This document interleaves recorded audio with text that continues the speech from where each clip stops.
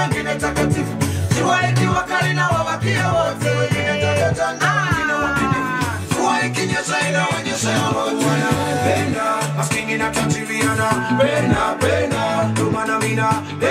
Niko mikononi mwake. Kila kitu kiko beta. Good morning, good morning, good morning.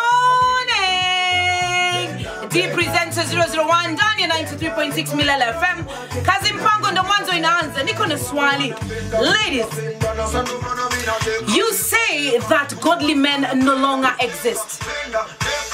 Do you give them a reason to approach you? Are you the reason why a godly man should approach you? Check yourself out this Tuesday morning. But in the meantime, 10 to 2, say hi to my boo. yani itakuwa ni burudani kama kawaida mpaka itakapotimia mida ya saa nane wewe kama ni mpishi mzuri utapika na sisi lakini muhimu ni kuganda ndani ya milele fm